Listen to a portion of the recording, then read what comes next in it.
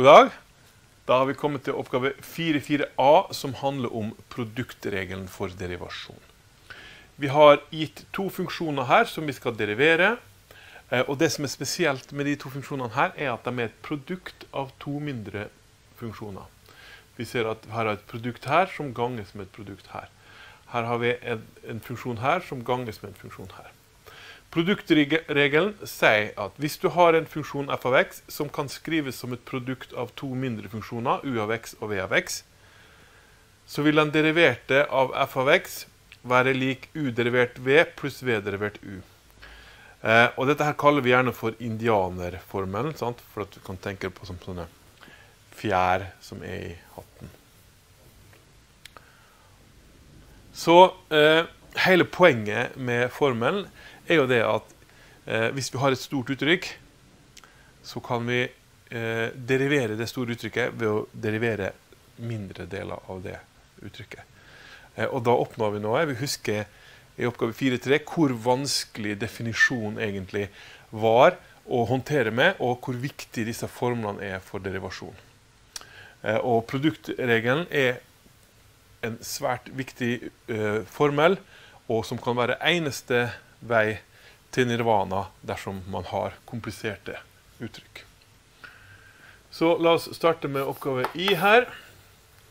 Så df dx er da lik den deriverte av eh, dette produktet her, 2x minus 3 eh, ganger x i annen pluss 1. Og nå er det da selvfølgelig viktig å identifisere hva u og v er. Så denne leddet her, det er u, og dette leddet der, det kaller vi for v.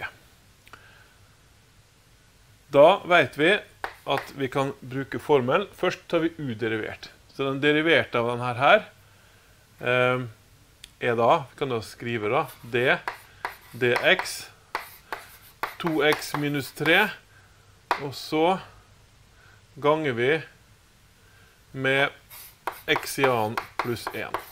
Legg merke til at den deriverte omhandler kun den første parentesen, mens her står det gange. Pluss, og så lar vi den der være i fred. 2x minus 3 ganger med den deriverte av v, da. x i annen pluss 1. Sånn. Når vi nå skal derivere disse her, så bruker vi bare hovedformelen om igjen, så nå blir jo hovedformelen sentral eh, likevel. Deriverte av 2x, det er bare 2. Vi fjerner x-en, så får vi 2. Deriverte av 3 er 0, så vi får 2. Og det skal da ganges med x i annen pluss 1. Så det var det første leddet. Det var uderivert v. Så her er det uderivert, og her er v. Så er det u ganger v-derivert. Da blir det pluss 2x minus 3. x i annen, det er det samme som 2 ganger x ganger koeffisient med eksponent. Det er 2 ganger x. Eh, pluss eh, opphøyd i 2 minus 1, som er 1, så det blir 2x. Sånn. Nå kan vi bruke pilmetoden her og løse ut disse eh, formlene. Og da får vi 2x i annen pluss 2 pluss 2x ganger 2x, det blir 4x i annen. Minus 3 ganger 2 er minus 6x. 2x i annen pluss 4x i annen er 6x i annen. Minus 6x. Her skal det stå lik, da. Minus 6x pluss 2. Og da fant vi den deriverte ved hjelp av eh, produktformelen.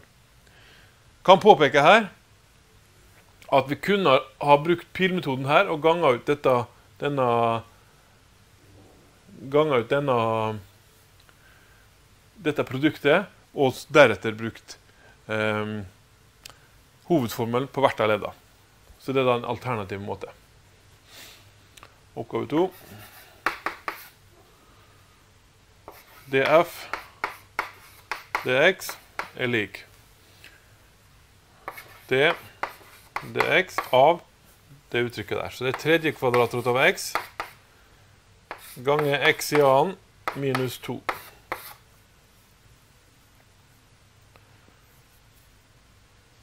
Ok, så dette her er jo da u, og dette er v. Så vi har jo gange mellom der. Så da kan vi bruke produktregelen. Så får vi at d dx av tredje kvadratrota av x, men det er samme som x opphøyd i en tredjedel, gange med x i annen minus 2 pluss tredje kvadratrot av x, d dx, x i annen minus 2. Sånn. Så her har vi da u derivert, her har vi v, og her har vi u, og så har vi v derivert. Så da bruker vi formelen her.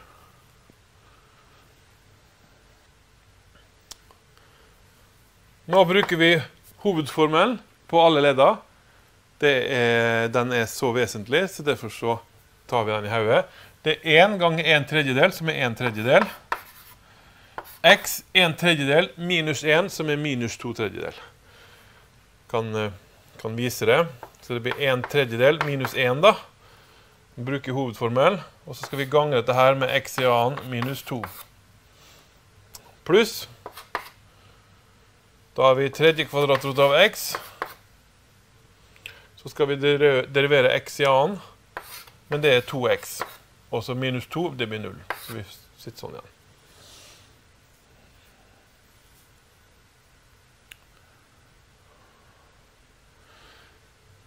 Her 1 kan vi jo skrive som 3 tredjedeler.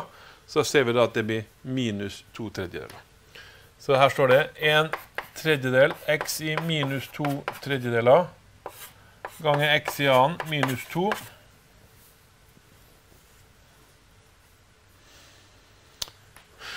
Pluss Her står det egentlig x oppi de 1 tredjedeler ganger 2x.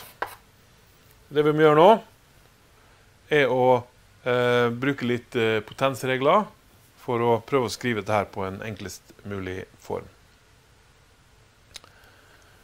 Så vi skriver ut dette leddet her.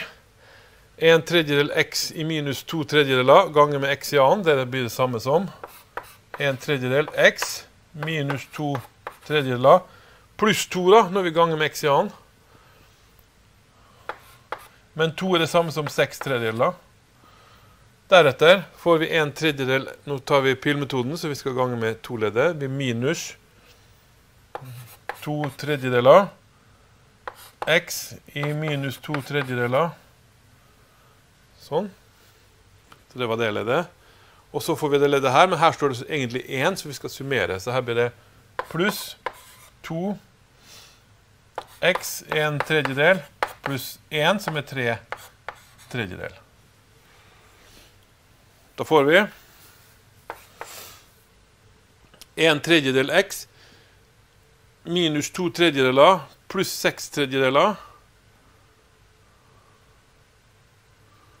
Det blir fire tredjedeler. Så det blir en tredjedel x.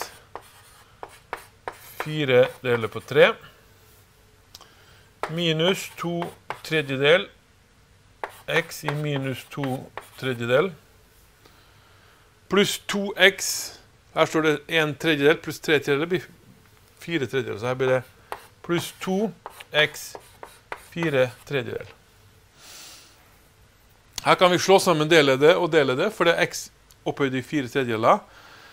Så eh, 2 er det samme som 6 tredjedeler, pluss 1 tredjedel blir 7 tredjedeler. x opphøyd i 4 tredjedeler minus to tredjedeler. X opphøyd i minus to tredjedeler.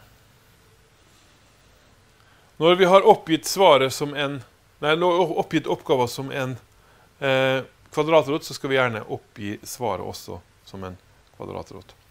Så det siste, da får vi sju tredjedel, og så får vi tredje kvadratrota av x opphøyd i fjerde, så det var det første leddet, minus Og så står det jo minus oppi her, så det blir 1 over. Så det blir da minus 2 deler på 3 tredje kvadratrota av x i annen.